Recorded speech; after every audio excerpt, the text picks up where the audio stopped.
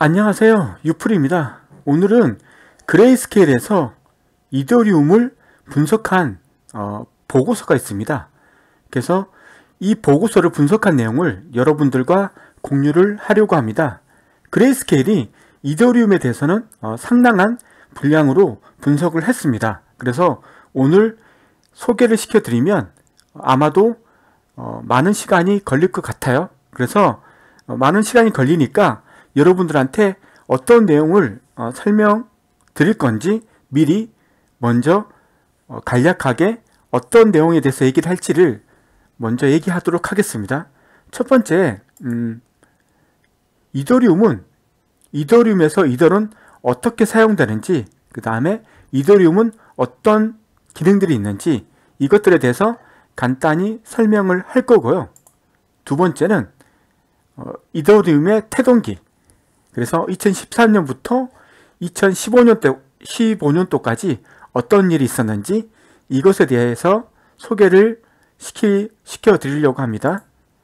그 다음에 세 번째는 음, 2014년 7월과 8월 사이에 어, 이더리움이 크라우드 세일을 했거든요. 그때 crowd sale이 어떤 거고 어, 규모는 어떻게 됐고 그 다음에 그 crowd sale을 어떻게 분배를 했는지 이거에 대해서 간단하게 설명을 드리려고 합니다.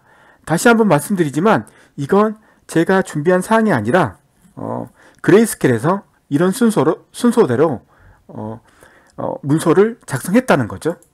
저는 그거에 대해서 얘기를 하는 거고요. 자 그리고 파트 2는 다오의 해킹 사건. 이게 이더리움과 이더리움 클래식이 하드 포크된 이유인데 이거에 대해서 좀 간략하게 설명을 드리려고 합니다. 자, 이건 어떤 거냐면 어, 이거에 대해서 어, 제가 부가 설명한 추가적인 설명을 여기서 하려고요. 어, 음, 어, Grayscale에서는 간단하게 다 해킹에 대해서 설명을 드렸는데 제가 좀더 어, 디테일하게 어떻게 해킹이 이루어졌는지 좀 더 부연 설명을 하는 페이지라고 보시면 될 것 같아요. 예. 자, 파트 3는 음, 이더리움의 어, 스테이지를 말하고 있습니다.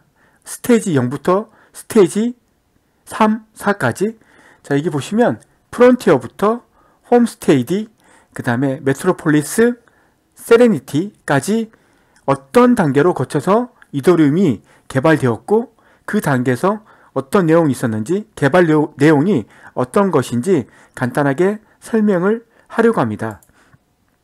자, 이건 뭐냐면 비트코인과 이더리움의 공통적인 특징이 어떤 게 있는지 이거에 대해서 설명을 하고 있고요. 이 페이지는 이더리, 이더리움만 가지고 있는 이더리움의 특징에 대해서 얘기를 해보려고 합니다.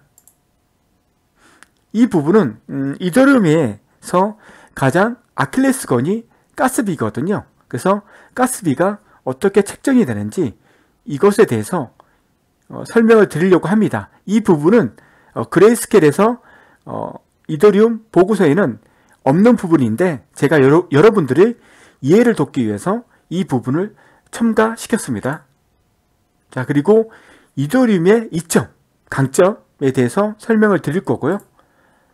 그리고 이더리움의 잠재적 위협 이 부분이 어, 중요한 거죠. 그래서 그레이스케일이 어, 이더리움의 생태계에 투자를 하고 있는데 근데 어떤 부분에 대해서는 조금 조심스럽게 쳐다보고 있는지 그 부분을 어, 설명하는 부분입니다. 제일 중요한 게 이더리움의 확장성 그리고 규제 불확실, 성 이거죠. 특히 이더, 이더리움보다는 이더리움 안에서 생태계에 있는 ERC20 토큰들이 조금 규제가 불확실성이 있기 때문에 좀 위험성이 크다 이런 내용들 이거에 대해서 설명을 드릴 거고요. 마지막으로 이제 이 보고서를 쓴 사람이 이제 마지막으로 이제 어, 서머리를 한 거죠. 어, 나는 이렇게 생각한다. 이더리움에 대해서 이 summary에 대해서 여러분들에게 얘기를 하려고 합니다. 자 그러면 어, 이더리움에 대해서 간단하게 소개를 시켜드리면 이더리움은 분산형 애플리케이션을 위한 글로벌 open source 블록체인 플랫폼입니다. 스마트 계약에 의해 smart contract에 의해 구동되고 기본 디지털 통화는 이더를 사용합니다. 이더는 다음 세 가지 목적으로 사용될 수 있다고 합니다. 첫 번째, 이더는 가치를 저장할 수 있는 가치 저장. 두 번째는 사용자가 지불을 위해 이더를, 이더를 상대방한테 보내거나 내가 받을 수 있는 그리고 거래를 할 수 있는 음, 거래 대상이라는 거죠. 세 번째는 자 이더를 통해서 거래 수수료를 지불하죠. 자 이더리움에서는 거래를 할 때 거래를 한다는 말이 블록체인의 어, 내용이 기입이 될 때 그때 수수료를 지불을 해야 됩니다. 그때 수수료는 이더를 통해서 지불이 되고 있습니다. 이더리움은 비탈릭 부텔린이 2013년도에 11월 달에 발표한 백서를 통해 개념, 개념화가 되었습니다. 그를 포함한 7명의 공동 창립자 및 기타 개발자의 공헌으로 2015년 6월 달에 네트워크가 시작이 되었죠. 현재는 스위스에 기반을 둔 비영리 조직인 이더리움 Foundation에서 이더리움을 관리하고 감독하고 개발하고 있습니다. 이더리움은 P2P 디지털 통화로서 P2P는 개인과 개인 간의 전송이 가능한 한 거죠. 디지털 통화로서 비트코인의 주요 기능을 확장하도록 설계되었습니다. 비트코인 기능 플러스 확장 기념, 확장 개념이 기능들이 좀 더 확장된 거죠. 자, 확장되고 있는 부분은 EVM, smart contract, Plasma, sharding, state channel 이런 것들이 있습니다. 이러한 확장 작업은 글로벌 개발자 커뮤니티의 협력을 받고 개발이 진행되고 있습니다. 이 개발자 커뮤니티가 가장 막 강한 곳 중에 한 곳이 바로 이더리움입니다. 그래서 이더리움이 많은 사람들이 투자하고 있는 이유 중에 하나가 개발자가 빵빵하다는 거죠. 현재 이더리움은 세레니티 또는 이더리움 2.0이라는 네 번째 개발 단계에 있으며 여러 단계에 거쳐서 출시될 예정이며 어, 지금 예상되기로는 2020년, 2022년 이후 완료될 예정이라고 생각하고 있습니다. 자, 2015년 7월 30일 Frontier가 시작되었으며 2014년 7월과 8월 사이에 실시된 초기 crowd sale에서 모금된 약 1,800만 달러가 모금됐습니다. 왜 이 돈을 모금했나요? 그건 이제 이더리움을 개발하기 위해서는 개발 비용이 필요했거든요. 자, 이 목적으로 초기 크라우드 세일을 실시했고 1,800만 달러를 모금했습니다. 그리고 그 대가로 7,200만 개의 이더가 생성되고 할당되었죠. 자, 지금 이더리움은 1억 1,400만 개가 지금 시장에서 유통되고 있습니다. 초기에 7,200만 개가 생성이 되었죠. 개발비 또는 뭐 이더리움 생태계를 운영하기 위해서 그래서 7,200만 개를 어, 배포했는데 그 배포된 어, 분포도를 보시면 이 색깔이죠. 약 83.33% 초기 배포된 건데 6천만 이더가 대중에게 판매가 되었습니다. 자, 두 번째, 이더리움 재단. 600만 이더가 이더리움 재단이 가지고 있죠.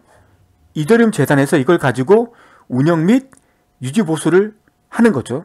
자, 세 번째, 이더리움 개발자들한테 분배가 되었습니다. 몇 개가 300만 이더가 이더리움 개발자들에게 분배가 되었죠. 이더리움 프로젝트에 기여한 85명의 개인들에게 배포가 되었습니다. 자, 마지막으로 개발자 구매 프로그램 여기에 300만 이더가 어, 기부가 아니 공급이 되었죠. 이더리움 Foundation의 일부 회원이 초기 crowd sale 가격으로 이더를 구매할 수 있도록 했습니다. 아시겠죠? 어, 일부 회원에게 300만 개를 초기 crowd sale 가격으로 판매를 한 거죠. 자, 파트 2 DAO 해킹 사건입니다. 2016년 6월 17일에 발생이 됐죠. 2016년 4월 30일에 블록체인 및 사물 인터넷 솔루션 회사인 Slock.it 자 제가 들, 적어 드릴게요. 어, 이걸 적어 드려야지 아시는 거죠. 자 2016년 언제? 어, 4월 30일 날 어떤 회사? 슬로딧 이라는 이더리움에서 다우를 출시한다고 발표를 했습니다. 다우는 28일 분산형 벤처 캐피탈 펀드로서 크라우드 펀딩 기간 내에 미화 1억 5천만 달러 이상을 모금을 했습니다. DAO는 회원들에게 투자에 비례하여 투표권을 부여했습니다. 회원들은 프로젝트 자금을 어떻게 사용할지에 대해 서로 투표할 수가 있었습니다. 투표권을 가지고 있었죠. 제안된 프로젝트가 수익성이 있는 것으로 판명되면 관련 멤버들은 스마트 계약 조건과 DAO 지분에 따라 보상을 받게 됩니다. 그러나 DAO에 smart contract, 스마트 계약이라는 어떤 소스 코드가 있었는데 어떤 부분이 정상적으로 작동을 하지 않았습니다. 2016년 6월 17일 이날이죠. 어, 익명의 해커가 The DAO를 구성하는데 사용된 스마트 계약 코드의 버그를 이용하여 약 6천만 달러 상당의 이더를 다오가 가나라는 지갑 주소로 출금을 했습니다. 도난당한 자금을 회수, 회수할 수 없다는 점을 감안할 때 사항을 가장 잘 해결하는 방법에 대해 커뮤니티 내에서 논쟁이 발생했죠. 자, 해킹 당했는데 이 해킹 당한 것을 어떻게 할 것인지 커뮤니티에서 상당히 많은 이견들이 의견들이 오갔습니다. 자, 궁극적으로 2016년 7월 20일에 하드포크가 진행되고 새로운 버전의 이더리움 블록체인이 생성될 것으로 결정되었습니다. 자, 이렇게 해서 하드포크가 돼서 만들어진 게 어떤 거죠? 이더리움이죠. 이더리움. 자, 이더리움이고 원래 온장은 뭐예요? 이더리움 클래식이죠. 원래는 이더리움 클래식이 이전부터 있었던 온장인데 이때 하드포크가 당해서 어떻게 됐다? 이더리움이 새로 만들어진 거죠. 예. 이 버전을 이더리움이라고 하며 도난 기록을 장부에서 제거하고 도난당한 이더를 원래 소유자에게 돌려주었습니다. 즉 온장을 이전 상태로 온복시킨 거죠. 이건 블록체인에서 발생하면 안 되는 아주 불행한 사태가 발생했다고 보여집니다. 원래 이더리움 프로토콜은 이더리움 클래식으로 브랜드가 바뀌었죠. 원래 이, 이더리움 프로토콜은 이더리움 클래식으로 브랜드가 바뀌었어요. 왜 바뀌었어요? 왜냐하면 여러분들도 알겠지만 POW는 해시 전정을 거칩니다. POW. 그러니까 어떤 커뮤니티가 하드 포크를 통해서 양분화 됐잖아요. 그래서 이더리움 클래식이 있었고 이더리움이 있었잖아요. 이더가. 자, 그런데 원래 타이틀은 이더리움이에요. 그럼 두 개의 집단이 해시 전쟁을 하잖아요. 그래서 해시 전쟁에서 승리한 진영이 원래 타이틀을 갖게 되어 있습니다. 그래서 이더리움 타이틀은 음, 새로 하드포크에 성공한 이더리움이 갖게 된 거고 원래 있었던 이더리움은 이번 해시 전쟁에서 패했기 때문에 이름을 이더리움 클래식으로 어, 바꾼, 거, 바꾼 거죠. hash 전쟁 때문에 이 이름이 어, 바뀐 겁니다. 이더리움 클래식은 분산된 거버넌스 및 불변성이라는 기본 원칙을 보존하기 위해서 DAO 해킹을 포함하여 원장에서 해킹된 거래 내역을 그대로 유지했습니다. 이더리움과 다른 형태를 취한 거죠. 오늘날 이더리움과 이더리움 클래식 네트워크는 공존하며 여러 면에서 이제 막 상호 운영되기 시작했습니다. 실제 애플리케이션 기능은 비슷하지만 이 두 네트워크 간의 기본 계층 분리는 hard fork 이후로 기술 아키텍처, 개발 철학 및 거버넌스 원칙에서 중요한 차이점을 보이고 있습니다. 자, 여기는 제가 따로 정리를 해서 여러분들한테 소개를 좀 자세하게 다오 해킹 사태가 어떤 건지 얘기를 해 보려고 합니다. 더 다오, 어, 더 다오가 어떤 어, 단체냐고 하면요. 블록체인을 활용하는 사업은 기존 사업 조직과는 다르게 대표자, 경영자 및 이사회가 있습니다. 이것이 새로운 조직 형태인 아, 더 다우는 다른 회사와 틀리게 대표자, 경영자, 이사회가 없습니다. 주도 세력이 없다는 거죠. 이것이 새로운 조직 형태인 DAO이, DAO이며 이 조직체는 스마트 계약에 기록된 코드에 의해 움직입니다. 그러니까 이 DAO 조직은 사람이 움직이는 게 아니라 컴퓨터 프로그램이 알아서 움직인다는 거죠. 사람이 컨트롤하는 게 아니라 코드가 소스 코드가 컨트롤을 합니다. 더 다우는 이더리움의 창시자인 비탈릭 부테린이 주인 없는 회사를 만들어 보겠다는 생각으로 2016년 3월에 설립한 디지털 분산형 자율조직입니다. 자율조직. 투자자 주도의 벤처 자금 펀드의 한 형태입니다. 자, 더 다오 해킹 사건에 대해서 좀 자세히 설명을 드리면 2016년 6월에 이더리움 커뮤니티인 The DAO가 해커들의 공격을 받았죠. DAO smart 계약에서 사용할 수 있는 기능 중에 투자자들이 crowd sale에 참여해서 DAO 토큰 구매를 위해 지불했던 이더를 환불받는 기능이 있었어요. 그러니까 The DAO에 이더리움을 담보로 맡기고 The DAO라는 DAO라는 토큰을 받았는데 이 토큰을 다시 돌려주고 이더를 환불해주는 이 기능을 담당하는 소프트웨어 smart contract가 있었는데 이 기능을 담당하는 어, smart contract 이름이 split DAO라는 게 있었어요. split DAO. 제가 써놨나요? split DAO라고. 제가 하나 써드릴게요. 어. 자, 이걸 맡고 있는 그 소프트웨어 코드 이름이 split DAO라는 게 있어요. 이 split DAO는 어떤 거예요? 내가 이 DAO 받은 DAO를 돌려주고 어떻게 하는 거죠? 내가 담보로 맡긴 이더리움을 받는 이 기능을 담당하는 코드라는 거죠. 여기에 뭐가 있었다? 심각한 버그가 있었다는 거죠. 어떤 버그냐 하면 올리는 이더를 환불 신청해서 이더를 먼저 받고 자신의 다오 토큰을 되돌려 주기 전에 다시 이더를 환불받는 제기콜 코드를 통해 무한 환불 공격을 만들어냈다는 거죠. 무슨 말이냐면 이런 거죠. 자, 해커가 환불 신청을 하잖아요. 그러면 어떻게 해요? The DAO라는 프로그램이 이더를 줍니다. 이더를 받았죠. 해커는. 근데 중요한 건 이 해커가 아직 뭔 주지 뭘 안 준 거죠? DAO는 주지 않았어요. 근데 이 split DAO의 치명적 버그가 뭐냐면 이 단계에서는 계좌에 어떤 내용도 기록이 되지 않는다는 거죠. 즉 무슨 말이냐면 환불 신청을 또 다시 해도 똑같은 양의 이더를 또 준다는 거죠. 왜냐하면 여기에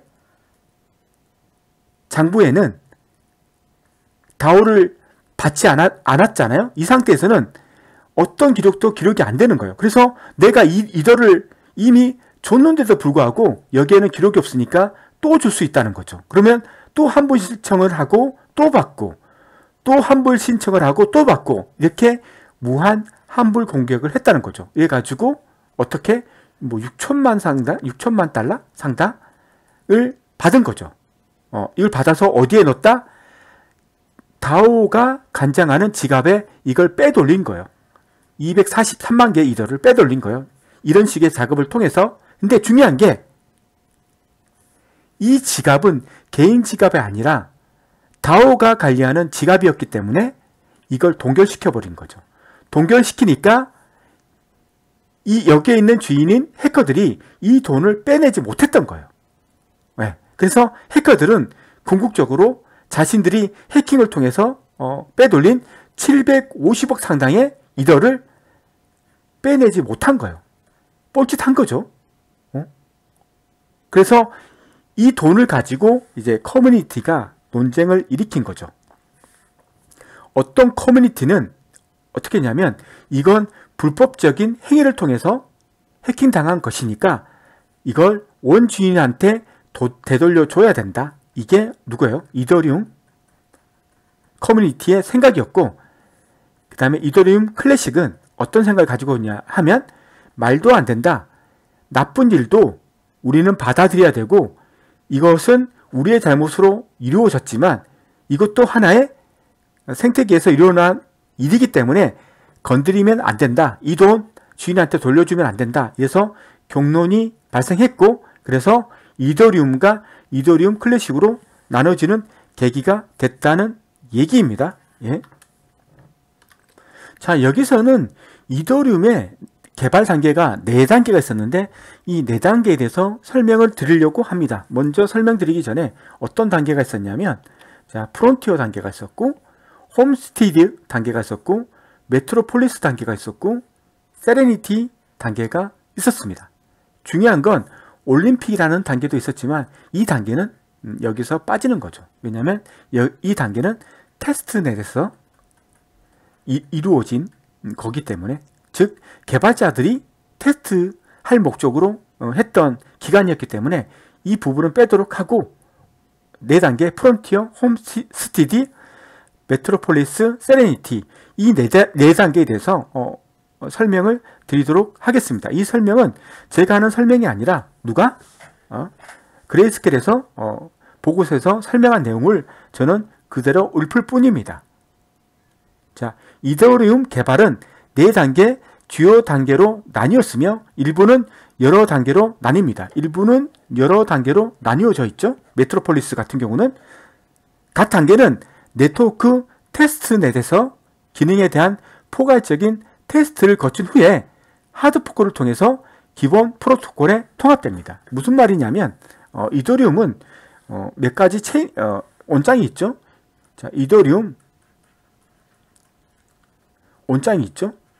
이건 실제로 우리가 어, 사용하고 있는 원장 그리고 테스트넷이 있죠. 테스트넷 얘들은 개발자들이 테스트할 목적으로 만드는 만드는 원장이죠.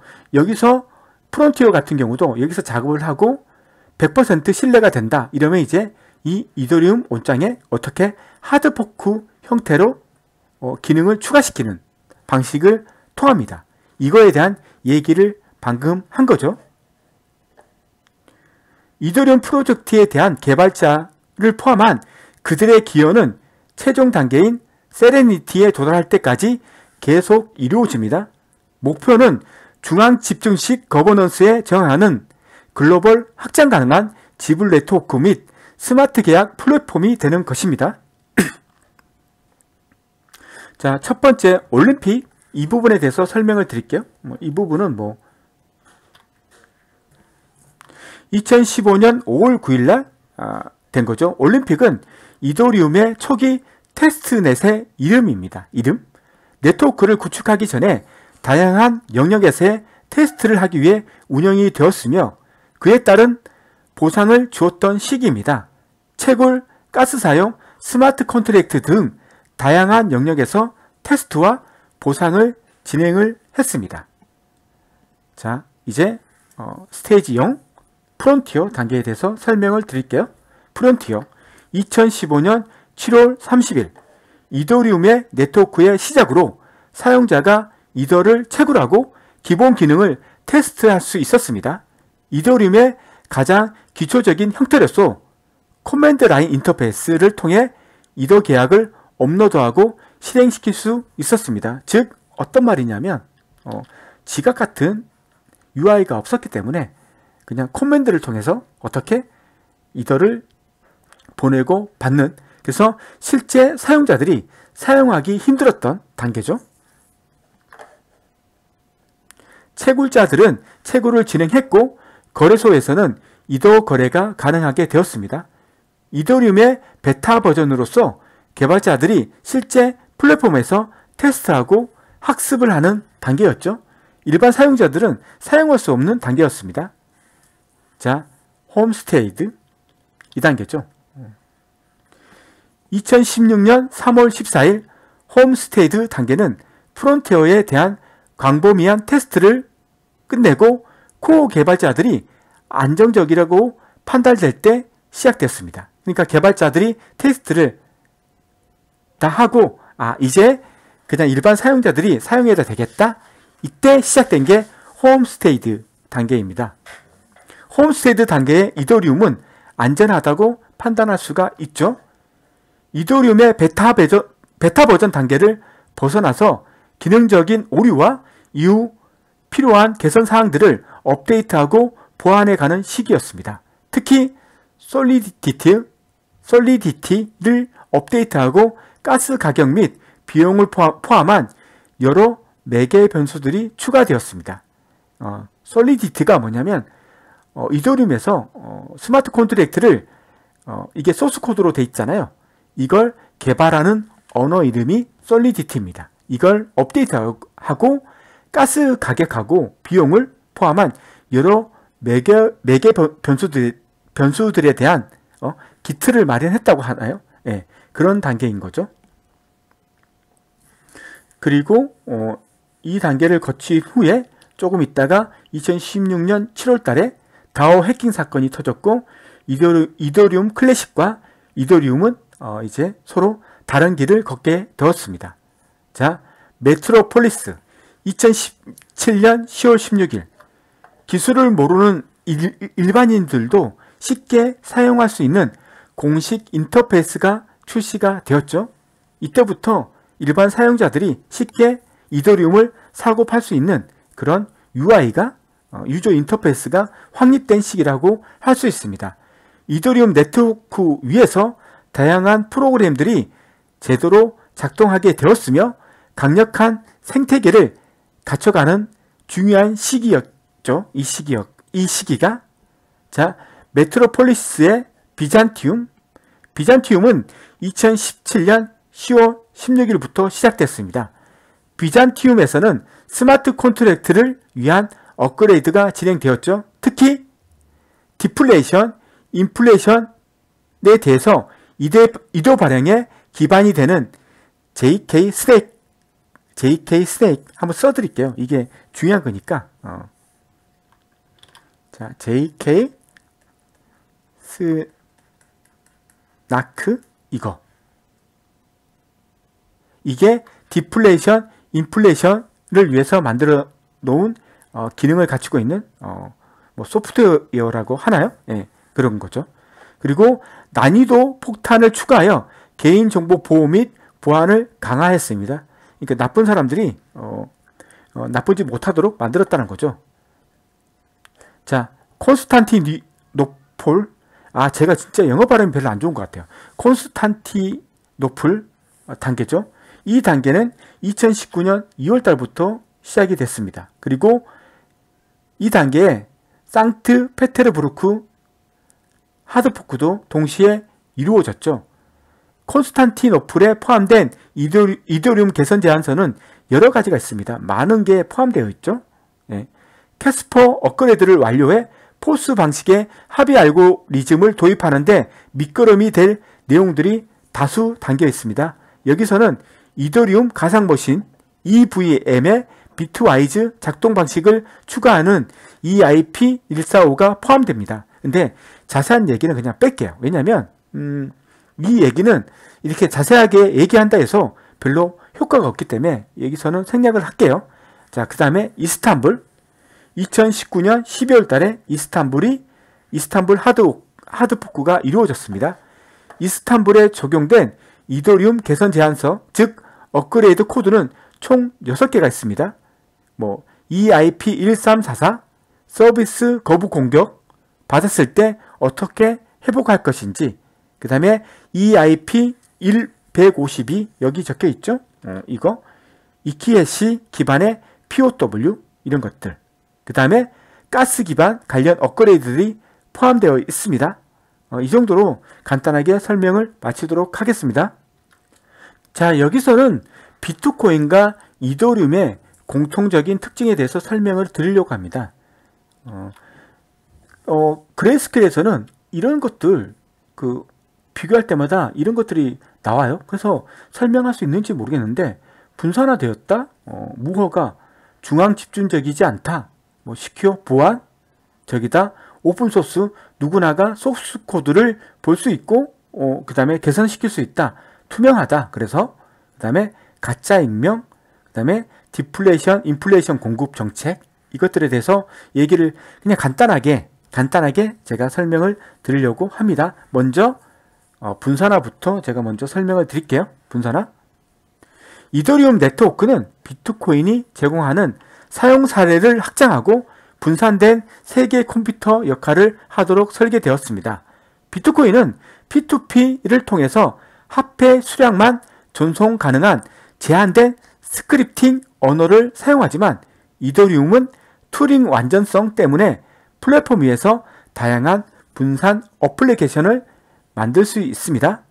뭐 딴소리 하고 있죠. 근데 이제부터 비트코인과 이더리움의 공통적인 특징을 제가 설명을 드릴게요. 분산화. 이더리움은 현재 POW를 효과적으로 사용하고 있습니다. 거래 또는 스마트 계약 기반 네트워크 운영을 검증하기 위해 중앙기관이 별도로 필요하지 않습니다. 비탈리는 블록체인이 정치적으로나 구조적으로나 분산되어 있지만 논리적으로는 논리적으로는 중앙 집중화된 방식으로 행동한다고 주장을 했어요. 아주 아이러니컬하죠. 그러니까 뭐냐면 탈중앙화는 맞지만 논리적으로는 논리적으로는 중앙화돼 있다 이런 말을 한 거죠. 이 방식에서는 노드가 네트워크에서 동일한 권한을 보유하고 거래를 검증하기 위해 서로 협력을 해야 합니다. 한 가지 주의사항은 거버넌스가 분산되도록 설계되어 있죠. 하지만 이더리움 네트워크에서 채굴풀의 분산 수준과 관련된 위험이 있을 수 있다는 것입니다. 즉, 몇 개의 채굴풀이 전체 hash rate의 50% 이상을 제어, 제어하고 있다는 말입니다. 어떤 말이냐면 지금 음, 분산화가 돼 있어요. 중앙 집중적인 형태가 없죠? 중앙 집중? 어떤 형태는 없는데 자, 채굴을 해야 되잖아요. POW니까 채굴을 해야 되는데 이 채굴은 두 개 회사가 50%의 hash rate를 가지고 있다는 말이죠. 탈중앙화는 맞지만 뭐다? 중앙화돼 있다. 채굴은 중국 업체죠. 예. 이런 말을 한 겁니다. 자, 두 번째 permissionless. 무허가 이거에 대해서 설명을 드릴게요. 무허가 누구나 네트워크에 참여할 수 있습니다. 누구나 허가 없이. 자, 세 번째 secure 보안에 대해서 설명을 드리겠습니다. 보안 POW 프로토콜에서 네트워, 네트워크에서는 정직한 노드들의 수가 공격자 노드 수보다 더 많은 경우 안전합니다. 블록체인에서 사기 거래를 하려는 공격자는 원하는 블록을 찾고 거래 데이터를 변경한 다음에 사기성 블록을 네트워크에 승인될 때, 될 때까지 뿌리죠. 그리고 이 연속된 블록을 정상 블록보다 더 많이 만들죠. 예. 이를 51% 공격이라고 합니다. 이러한 공격을 억제하기 위해서는 계산 비용이 많이 들도록 해서 보상이 불확실하도록 만들어야 합니다. 어, 2016년 다오 해킹으로 이더리움의 보안에 대한 우려가 제기가 되었습니다. 공격의 주요 원인으로는 네트워크 자체의 취약성이 아닌 이더리움 스마트 계약을 개발자가 만들면서 사용한 프로그래밍 언어인 솔리디티의 취약성 때문에 이런 문제가 발생한 거죠. 그래서 이더리움 네트워크 때문에 보안이 뚫린 게 아니라 뭐다? smart contract라는 프로, 프로그램을 어떤 사람이 잘못 만들어서 보안이 뚫린 거다. 그래서 이더리움 네트워크는 보안적으로 안, 완전하다. 이런 말을 하고 싶은 거죠. 예. 자, 그 다음에 오픈소스에 대해서 어, 설명을 드리도록 할게요. 오픈소스. 이더리움 프로젝트의 소스 코드는 인터넷에서 누구나 무료로 액세스 접근이 가능합니다. 그리고 기어 또는 포크할 수도 있습니다. 이것은 이더리움 프로젝트가 모든 디지털 통합 커뮤니티 중에서 가장 많은 수의 활발한 개발자를 자랑한다는 사실에서 입증이 됩니다. 이 말은 무슨 말이냐면 암호화폐가 상당히 많잖아요. 근데 이더리움의 개발자 집단은 탑입니다. 전 세계에서 이더리움 개발에 협력을 하고 있습니다. 개발자들이 전 세계. 그 원천적인 그 핵심인 그게 가능한 것은 뭐냐? 소스가 오픈되어 있고 누구나가 고칠 수 있기 때문입니다. 누구나도 누구나가 다 소스 코드를 올릴 수 있고 기여할 수 있기 때문에 그렇다는 거죠. 그 얘기를 하고 있는 겁니다. 자, 투명성에 대해서 한번 설명을 드릴게요. 모든 거래가 기록되고 전 세계 어디에서나 이더리움 블록체인을 공개적으로 확인할 수 있습니다. 그래서 투명하다는 거죠. 자, 그 다음에 가짜 익명, 이거, pseudonymous, 이거, 이거에 대해서 좀 이해를 하실 필요가 있습니다. 공개 지갑 주소는 개인 식별 정보와 직접 연결되어 있지 않습니다. 우리가 알고 있는 이더리움 주소 있잖아요. 0x, 0, 뭐 이렇게 시작되는 거. 이건 이 정보를 가지고 이걸 가지고 있는 사람의 어, 이름이 누구다? 유프리라고 알 수는 없습니다. 그 얘기를 하는 겁니다. 그러나 현재 상태에서는 완전한 익명성을 달성하기가 어렵다고 합니다. 그 이유는 모든 이더리움 거래에 관련된 주소가 블록체인에서 영구적으로 공개적으로 볼 수 있기 때문입니다. 그래서 어떤 거냐면 자 누군가 누구한테 보냈고 누가 누구한테 보냈고 누가 누구한테 보냈는지를 이더리움 블록체인 안에 다 기록이 되어 있기 때문에 마음만 먹으면 다 추적이 가능하고 그 다음에 이 추적을 통해서 이 계좌의 주인이 유풀이라는 것을 어떻게 알아낼 수도 있다는 이런 말을 하는 겁니다. 아, 이 점이 우리가 알고 있어야 될 점이라는 거죠. 그래서 이게 프라이버시 침해라는 거죠. 너무 많은 정보들이 공개 공개가 되어 있어서 어떤 개인의 정보가 무차별적으로 많은 사람들한테 어, 알려줄 수 있다. 이런 문제를 가지고 있습니다. 예. 그래서 라이트코인 같은 경우는 이런 문제를 없애기 위해서 Mimble, Wimble이라는 개념을 도입하고 있죠. 예. 자, 그리고 마지막으로 디스인플레이션, 인플레이션, 공급에 대해서 얘기를 한번 해보도록 하겠습니다. 이 부분이죠. 예. 처음에 7,200만 이더가 생성되었습니다. 이더 공급은 네트워크가 성숙함에 따라 계속 디플레이션, 인플레이션 메커니즘에 따라 증가합니다. 어떤 건지 아시죠? 어, 너무 많이 발행되면 뭐 적게 발행시키는 이런 방법으로 조정을 합니다. 그러나 지정된 최대 공급 한도는 없습니다. 이더리움은 공급되어 있는 한도가 없습니다. 제가 알기로는 어, 이더리움은 1년에 몇 프로? 2% 정도의 어, 인플레이션이 발생합니다. 새로 이더리움이 생성된다는 거죠. 어. 정확하게 1%인지 2%인지 좀 헷갈리는데 그렇다는 겁니다. 이런 정책이 있죠. 어. 그렇기 때문에 어, 어, 비탈릭이 뭐 760인가? EIP 760? 960인가? 아, 960 같다. 960에서 자, 이더리움 개수를 1억 2천만 개로 고정시키자. 이런 제안을 하기도 했죠. 자, 이번에는 이더리움만 가지고 있는 특징에 대해서 제가 여러분께 설명을 드리려고 합니다. 이더리움은 스마트 계약 기능이 있는 플랫폼을 통합한 최초의 디지털 자산입니다. 네트워크와 그 많은 애플리케이션을 이해하는데 필수적인 다음 요소로 구성이 되어 있습니다. 먼저 어떤 것부터? 이더부터 설명을 드리도록 하겠습니다. 상당히 광범위한 어, 개념적, 개념들을 설명하고 있어서 여러분들이 이해가 잘 안 되시리라고 판단이 됩니다. 그럼에도 불구하고 그냥 한번 보세요. 몇 번 보다 보면 여러분들도 이제 눈에 들어오실 겁니다. 이게 자 먼저 이더 이더는 이더리움에서 제공하는 고유한 디지털 통화입니다. 세 가지 주요 목적을 제공하고 있죠. 자, 이더 가치 저장, 사용자가 지불을 이더로 보내거나 받을 수 있도록 하여 거래를 정산하는데 쓰이는 거죠. 현금처럼 쓸 수 있다는 거죠. 자, 세 번째, smart contract 코드를 실행하면 이때 가스비가 발생합니다. 이 가스비를 어떤 걸로 어, 사람들은 지불을 해야 됩니까? 이더를 통해서 지불을 합니다. 가스는 스마트 계약 코드 실행에 사용되는 내부값 단위예요. 주어진 명령을 실행하는데 드는 계산 비용을 나타냅니다. 채굴자와 smart contract 프로그래머는 가스 사용량에 따라 이더로 거래 수수료를 징수하고 있습니다. 자, 두 번째 스마트 계약. 이걸 얘기하는 거죠. smart contract.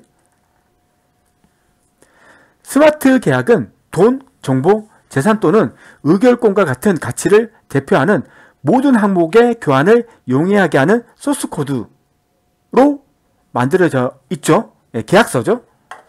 블록체인에 업로드가 됩니다. 그리고 실행이 되죠. 그리고 실행된 스마트 콘트랙트는 절대로 변경될 수가 없습니다. 스마트 계약을 사용하여 사용자는 이더를 보내거나 받을 수 있죠. 그 다음에 어떤 마켓을 만들 수가 있고요. 그 다음에 부채 또는 약속을 저장소에 저장할 수도 있습니다. 그리고 재산 또는 회사의 소유권을 나타낼 수도 있으며 일련의 논리적 지침에 따라 자금을 이체할 수도 있고 규정을 준수하는 제한 또는 발행해서 새로운 디지털 자산을 형성할 수도 있습니다. 자, Solidity 이거죠? Solidity. 자, 이걸 통해서 smart contract를 만드는 거죠. Solidity를 라는 언어, 언어, 랭귀지를 통해서 프로그램 언어를 통해서 스마트 콘트랙트를 작성을 하게 되어 있습니다. 솔리디티는 이더리움의 기본 프로그래밍 언어입니다. 스마트 계약을 작성할 수도 있고요. 디앱을 만들 수도 있고요. 다오를 구조화시킬 수도 있고요. 이더리움 기반 기술인 IoT 장치 운영에 사용될 수도 있습니다. 자, 다음은 어, 이거죠. decentralized application. 어, 진짜 내용이 많아요. 얘들 다른 애들보다 그러니까 음, 애들이 애들이라면 어, 뭐, 뭐, 뭐? 어, 얘들 아, 갑자기 이름이 또 생각이 안 나네요. 이 조직이 어, 뭐더라? 아, 하여튼 뭐 음, 베리 실버트 있잖아요. 이 조직 그 아시겠죠? 어떤 조직인지 갑자기 생각이 안 나는데 얘들이 어, 자기들이 투자하는 어, 암호화폐에 대한 어, 분석 보고서를 상당히 많이 어, 지금 작성하고 있는데 어, 그 중에서도 이더리움 분량이 가장 많은 것 같습니다. 그만큼 이더리움이 어, 설명할 게 많다는 거죠. 그리고 기술적으로 이더리움 기술 기술이 상당히 세분화되어 있고 어, 많습니다. 그래서 이더리움을 정확하게 이해한 사람은 여기 지금 나와 있는 모든 암호화폐를 이해할 수 있다고 얘기해도 과언이 아니죠. 그래서 이더리움이 그래서 주목을 받고 있는 거고 어, 제가 이제 이거에 대해서 또 설명을 드릴게요. 어, DApp 분산형 애플리케이션이죠. DApp이 DApp은 이더리움 네트워크에 내장된 스마트 계약을 활용하는 애플리케이션 또는 프로그램 또는 도구입니다. DApp은 금융 서비스, DeFi 같은 것들, 자산 관리, 공급망 관리, 아이디 관리, 데이터 저장, 암호화 및 전송을 포함하여 여러 부분에서 사용을 할 수가 있습니다. 이런 프로그램들, 이런 서비스를 DApp을, DApp을 통해서 만들 수가 있다는 거죠. 이더리움 블록체인에서 구축된 인기 있는 DApp에는 MakerDAO가 있습니다. 그 다음에 CryptoKitty 아시죠? 제가 적어 드릴게요. 아무리 시간이 많이 걸려도 어, 메이커 DAO 다 아시겠죠? 어. 자 그리고 CryptoKitty 이런 게 있죠. 그 다음에 IDEX 이런 게 유명한 DApp이죠. 요즘에 DeFi 중에 위험한 거 한두 개가 아니잖아요. 아니 유명한 거 한두 개가 아니잖아요. 특히 MakerDAO는 현재 가장 큰 탈중앙화 금융 플랫폼입니다. 이더리움의 실질적인 응용 프로그램으로서 금융 서비스에 대한 접근을 민주화할 수 있는 잠재력이 있다고 합니다. 자, 이더의 시 알고리즘. 어, 제가 설명할 게 많으니까 저도 목이 정말 아프네요. 아, 그리고 목이 아플 뿐만 아니라 음, 그 다음에 입안이 어, 메마릅니다. 아, 상당히 건조하네요. 이도, 이더해시 알고리즘. 이더리움은 이더해시라는 작업 증명 알고리즘을 사용하여 채굴 합니다. 이더리움은 비트코인이나 라이트코인과 같은 작업 증명 방식의 합의 알고리즘을 사용하고 있지만 자, 제가 이제 그냥 말로 설명해 볼게요. 이더해시. 자. 비트코인은 뭘 쓰고 있죠? SHA256 라이트코인은 뭘 쓰고 있어요? 어, 다 아시겠지만 어, 라이트코인은 음, Scrypt라는 걸 쓰고 있죠. 자, 그 다음에 이더리움은 Ethash를 쓰고 있죠. Ethash 이렇게 쓰고 있다는 거죠. 근데 얘들이 다 특징이 틀리다는 거죠. 자, SHA 256은 CPU가 상당히 많이 필요합니다. 그 대신에 메모리는 적게 필요하죠. 필요 없다는 거고 Scrypt는 라이트코인의 Scrypt는 정반대입니다. 얘는 CPU가 높고 메모리가 낮다는 거죠. 얘는 CPU는 거의 쓰지 않죠.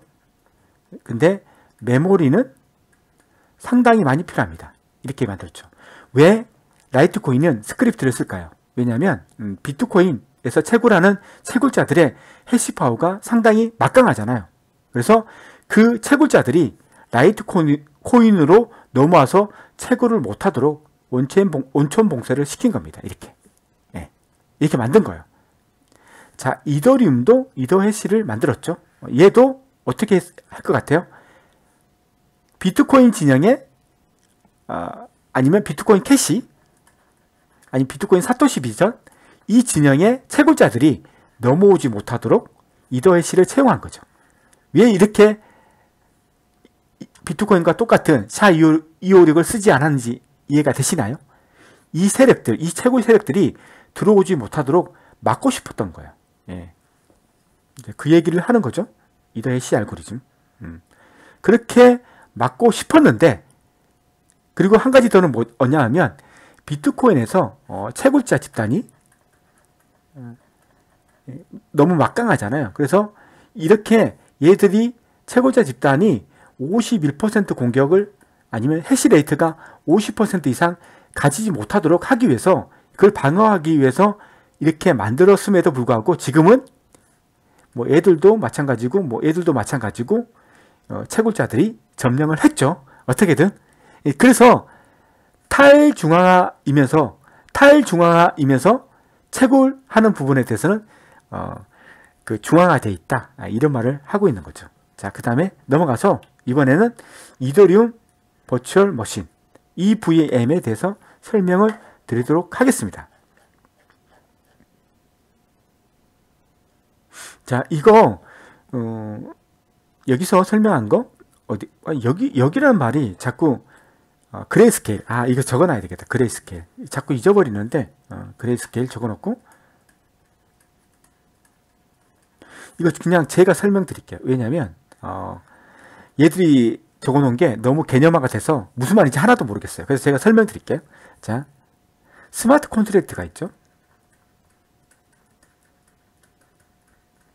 이건 Solidity라는 언어로 만들어졌습니다. 그리고 얘들은 어떻게 해야 돼요?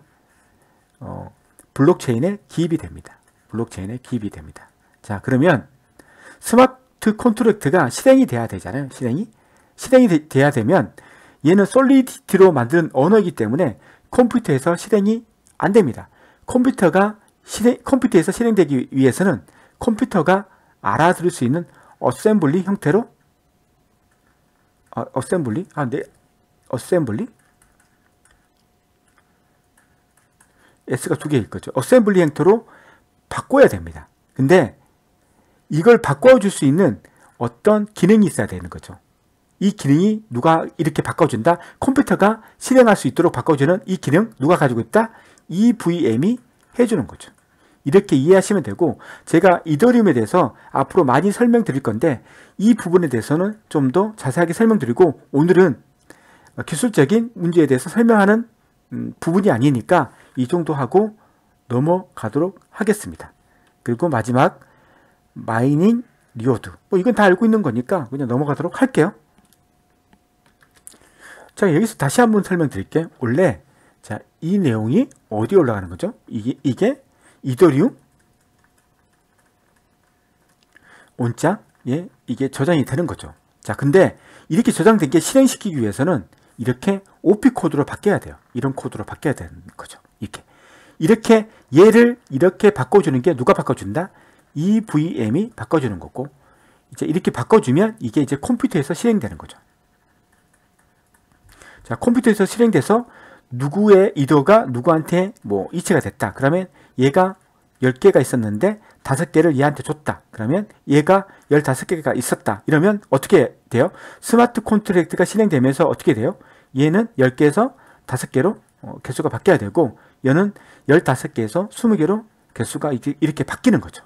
어, 이런 작업을 이더리움 어, 어, 스마트 콘트랙트에서 해주는 거고 이걸 컴퓨터가 실행할 수 있도록 OP 코드로 바꿔주는 것을 EVM이 해주는 거죠. 예, 이렇게 설명, 이렇게 이해하시면 어, 쉬울 것 같고 그 다음에 하나 더 가스비는 어떻게 책정이 되는가 이 보시면 알겠지만 이 OP code에 이 가스비가 다 할당이 되어 있습니다. 그래서 만약 이만큼 만약 실행이 된다 그러면 여러분들이 가스비가 어떻게 책정이 되느냐 이런 Solidity language smart contract가 이렇게 바뀌었을 때 OP code들이 있잖아요.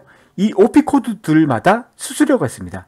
그 수수료를 다 합한 가격이 뭐다? 어, 그게 이제 수수료죠. 우리가 내는 수수료. 수수료, 수수료는 이렇게 계산이 됩니다. 어. 자, 너무 많이 시간이 지나서 그냥 대충 설명할게요. 이더리움의 이점, 최초의 스마트 계약이죠. smart contract 누가 최초에 도입했습니까? 만든 사람은 다른 사람이지만 최초로 암호화폐에 도입한 것은 이더리움이죠. 네, 그래서 최초의 스마트 계약 기능이 있고 그 다음에 활발한 개발자 커뮤니티가 있습니다. 어떤 암호화폐 조직보다 개발자들이 많고 양질의 개발자들이 많다는 거죠. 그렇기 때문에 이더리움이 앞으로 성공할 확률이 높다는 겁니다. 그 다음에 기관 및 기업에서 지원하고 있죠. 이 부분에 대해서는 제가 약간 어, 그레이스케일에서 설명한 것을 얘기를 할게요. 어, EEA라는 게 있죠. EEA. EEA. 자, enterprise, 기업, 이더리움 alliance. 기업 관련된 이더리움을 어, 협회죠. 협회. 기업들이 쓸 수 있는 이더리움 협회. 이런 협회는 기업과 개인 모두에게 이더리움 채택 및 사용을 촉진하는 데 전념하는 조직입니다.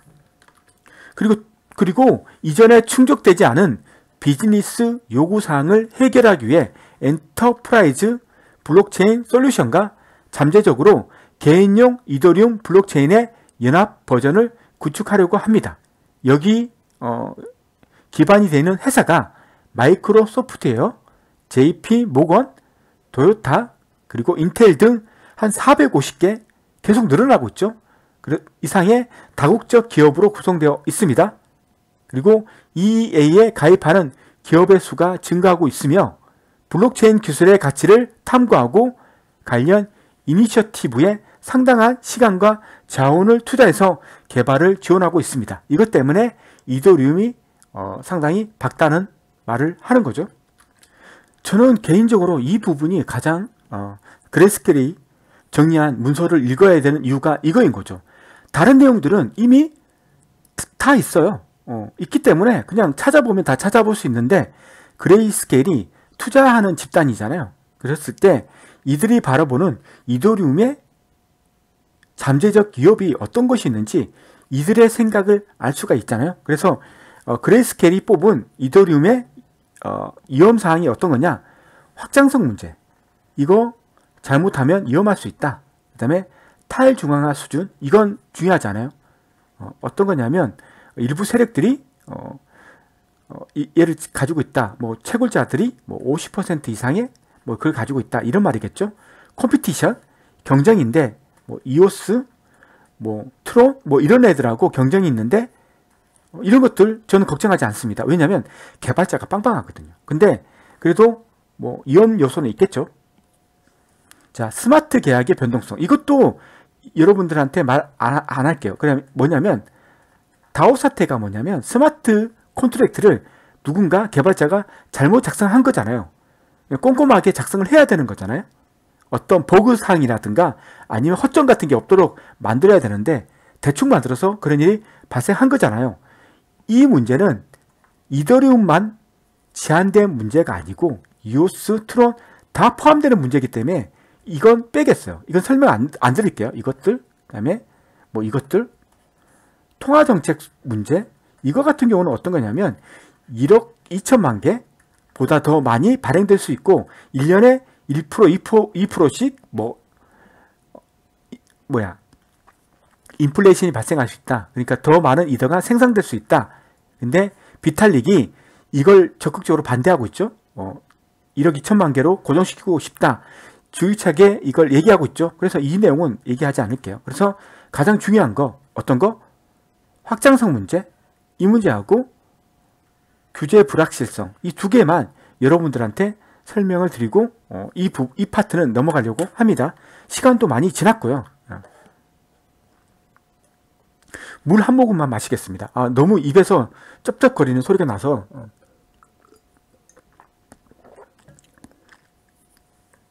죄송하게 생각합니다. 아 근데 말을 계속 하다 보니까 어, 침이 마르니까 쩝쩝 소리가 계속 나는 것 같아요. 진짜 미안하게 생각하는데 자 이번에 확장성 문제 이거에 대해서 설명을 드릴게요. 어, 먼저 많은 디지털 통화와 마찬가지로 이더리움은 확장성 측면에서 한계에 직면하고 있다. 현재 네트워크는 초당 약 1,700건의 거래를 처리하는 비자와 같은 기존 결제 채널에 비해 초당 평균 15건의 거래만 처리할 수 있습니다. 이더리움은 초기 설계에서 제시된 확장 문제에 대응하기 위해 이미 몇 가지 소프트웨어 수정을 거쳤습니다. 그러나 확장성은 이더리움 네트워크의 가장 큰 과제 중 하나이며 개발자를 위한 활발한 연구 영역으로 남아 있습니다. 이더리움의 확장 문제를 해결하기 위해 연구되고 있는 두 가지 유형의 접근 방식이 있습니다. 여러분들한테 말씀드리고 싶은 게 이거요. 자, on-chain이 있고 off-chain이 있습니다. off-chain. on-chain이면 여러분들이 쓰고 있는 이더, 이더리움 원장을 말하는 거예요. 원장. off-chain이면 다른 체인입니다. 이 원장 외에 원장을 말하는 거죠. 원장 이외의 원장. 아, 그리고 on-chain은 다른 말로 layer 1이라고 부릅니다. layer 1. 이런 말 많이 들었을 거예요. 자, off-chain이라고 하면 layer 2라고 부릅니다. 자, layer 1 이러면 뭐 on-chain을 말하는 거고 layer 2 하면 뭐예요? off-chain을 말하는 겁니다. 자, 가스 절약을 위해서 누군가가 layer 2에서 작업했다 또는 off-chain에서 작업했다 같은 말입니다. 예, 이걸 미리 말씀드리고 이제 설명을 드릴게요. on-chain 또는 메인 블록체인을 지칭하는 layer 1 이거죠. 자, 이, 이걸 개선하기 위해서 확장성을 하기 위해서 쓰고 있는 게 sharding 기술이죠. sharding.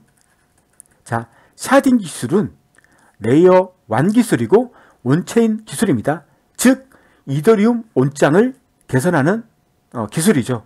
자, off-chain 또는 외부의 기능 구현을 지칭하는 layer가 있습니다. 여기에는 뭐가 있죠? layer 2, Plasma. 아, 그냥 한글로 쓸게요. 그 다음에 side chain. 그 다음에 뭐, 그 다음에 어, 상태 채널 이런 것들이 있죠.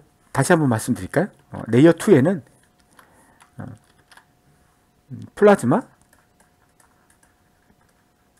side chain, 죄송합니다. side chain.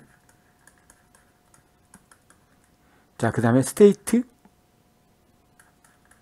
channel 이런 게 있죠. 그래서 여러분들은 이 말이 나오면 아, layer 2. 아, 어떤 거? off-chain. off-chain이 뭐예요? 그건 이더리움 블록체인 원장을 개선하는 게 아니라 그 이외에 어떤 다른 원장에서 개선하는 프로젝트인 거죠. 자, 그 다음에 layer 1 또는 뭐 어, on-chain 아, 이건 뭐예요? 이더리움 블록체인을 이더리움 원장을 개선시키는 기술이죠. 상당히 빡세겠죠. 기존의 걸 완전히 갈아엎는 거잖아요. 그러니까 아주 빡센 거고 이게 이제 이더리움 2.0에서 지금 하고 있죠. 2.0에서 이게 뭐예요? sharding 기술, sharding. 예, sharding 기술. 이게 sharding 기술이에요. 자, 이렇게 어, 기본적으로 알고 계시면 될 것 같습니다. 음, 그래서 이거 제대로 하지 못하면 위험하다. 이런 말을 하는 거고. 자, 마지막으로 어, 규제 불확실성. 이걸 얘기를 할게요. SEC 얘기가 나와요, 여기서. SEC는 특정 디지털 자산이 연방증권법에 따라 증권으로 간주될 수 있다고 밝혔습니다. 현재까지 SEC는 비트코인과 이더리움이라는 두 개의 디지털 자산만 확인했습니다. 증권이 아니라고 확인을 했다는 말이죠. 이 자산에 대해서는 증권이 아니라고 이미 입장을 취했다고 합니다. 그러나 이더 가격의 추가 위험을 초래할 수 있는 오픈소스 이더리움 네트워크 위에 구축된 토큰들 그러니까 뭐냐면 ERC20 토큰들 있죠. ERC20 토큰들 얘들은 위험하다. 증권으로 판명될 수도 있다. 라고 얘기를 한 거예요. 네, 그래서 여러분들은 어, 그래서 이게 이더리움의 잠재적 위협이 될 수 있고 가격을 떨어뜨릴 수 있는 위협이 될 수 있다. 제가 생각했을 때 이더리움에서 가장 위험한 요소는 이거 하고 이겁니다. 그 중에서도 이거죠.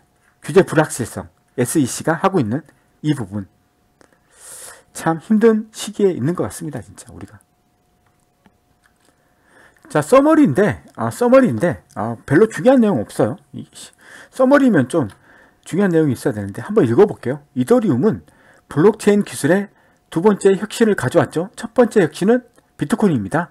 비트코인이 제공하는 사용 사례를 확장하여 디지털 통화 생태계에서 고유한 역할을 강화했습니다. 최종적으로 이더리움은 선도적인 스마트 계약 호환 디지털 통화 플랫폼이 되려고 합니다. 논란의 여지가 있는 이더리움과 이더리움 클래식 하드포크를 초래한 2016년 다오 해킹에도 불구하고 이더리움은 디지털 통화 생태계에서 시가총액 두 번째로 큰 네트워크로서의 위치를 유지하고 있으며 광범위한 지지자들을 통해 광범위한 어, 지지자들 이게 아주 중요한 거죠.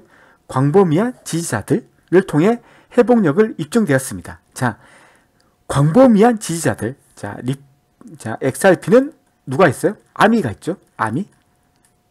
어, 아미. 자, 체인링크는 뭐가 있어요? 체인링크. 강력한 커뮤니티. 이게 마린이죠. 해병대.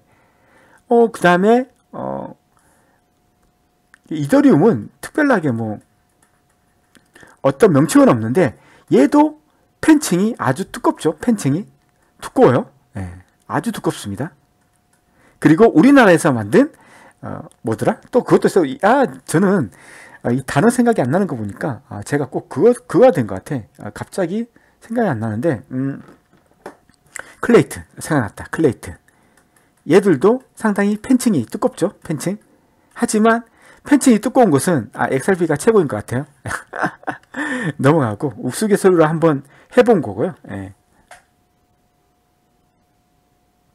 사용자, 개발자 및 기업의 글로벌 네트워크를 통해 이더리움은 경쟁 플랫폼이 따라하기 어려운 상당한 기술적 및 사회적 모멘텀, 사회적 모멘텀을 생성했다. 여기서 결론이 있죠. 나와 있죠. 다른 경쟁 폼의 경쟁 플랫폼에 비해서 그들이 따라하기 힘든 어려운 상당한 기술력을 갖추고 있고 그 다음에 사회적 모멘텀을 생성했다는 거죠. 예. 자 이것으로서 어, 그레이스켈이 어, 이더리움을 어떻게 생각하는지 분석 보고서를 마치도록 하겠습니다. 감사합니다.